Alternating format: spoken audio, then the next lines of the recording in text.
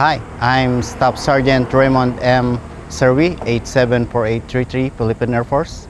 I'm a K9 handler, also a instructor here at 773rd Canine Squadron, and I'm under the unit of 17th SPAO.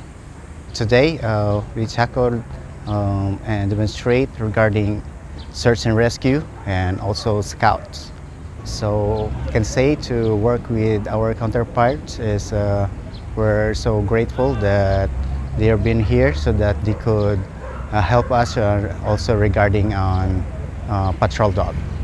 Well, uh, as an instructor, I need this kind of ideas and any techniques on patrol dog. That's why it's so important to us here in Canine Squadron. Here, uh, I will introduce to them uh, how our, the, our search and rescue works, how our methods work here in the training, and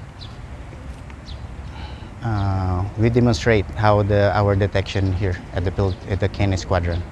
Well, dogs, dogs is man's best friend. That's why you know, if you have a passion to for dogs, you always keep the dog that you always beside you. You must train, play with it, come with bonding on it, just like that, sir. Yes, sir. Uh, if there another opportunity, uh, we will think of that, and because we enjoy and the rel- relationship is uh, keep uh, stronger and stronger. That's all, sir. Well, uh, behalf of the our unit, we'd like to say thank you for to our, our counterparts who came here in Philippines, who shared uh, ideas also in regarding on patrol. Thank you. Well, uh, aside on training dogs, well, for me, the most highlight of the the these kind of exercises is, you know, the we, to have bond each other, the friendship, the the we, we, also, we also consider as we are the end of family. Yeah, yeah, it's like that, sir.